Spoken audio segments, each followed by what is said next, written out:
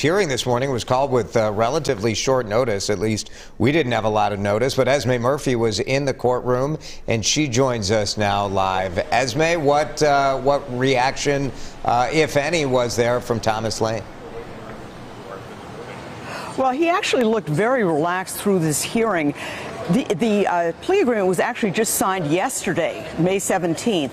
Again, as you said, he pled guilty to second degree manslaughter.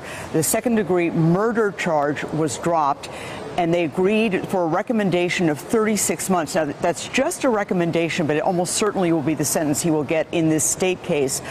Uh, he has not been sentenced in the federal case yet.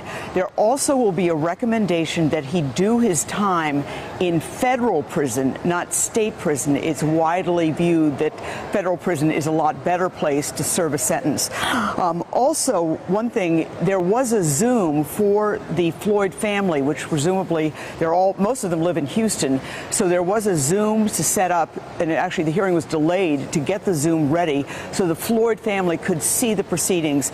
Thomas Lane didn't say anything other than just yes in terms of when the judge asked him, did he plead guilty. Uh, there is a, a document that's going to be filed that's presumably longer in which he admits to his guilt and admits to what he did. Of course, everybody saw the tape, so we, we know he was holding down the feet of George Floyd. He was at the other end. And yes, as uh, Heather mentioned, he was the man who, he was the officer who actually asked uh, Derek Chauvin to roll George Floyd over. So a, a, lot of interesting things here, but Thomas Lane himself looked very composed, even relaxed. Uh, so we won't see him again until September. That's when the sentencing will happen, and the sentencing, his sentencing will happen after the federal sentencing. Mm -hmm. uh, Esme, uh, would this be something that the Floyd family would agree to? I think they would have had to have agreed okay. to it. I, I mean, I, I, I, shouldn't speak for them. And actually, Jeff Storms, uh, their attorney, was up in court. We were hoping that he would come down and uh, give us a chat. Um, he is one of the attorneys representing the Floyd family. Obviously, they knew about it because they were zoomed in. Um, I'm sure that they probably are not happy you know, I, I, think they felt that all of these, they were very happy with the federal conviction. Um, I don't want to speculate about how they feel, but I know they felt that all of the officers involved deserved the strongest penalties.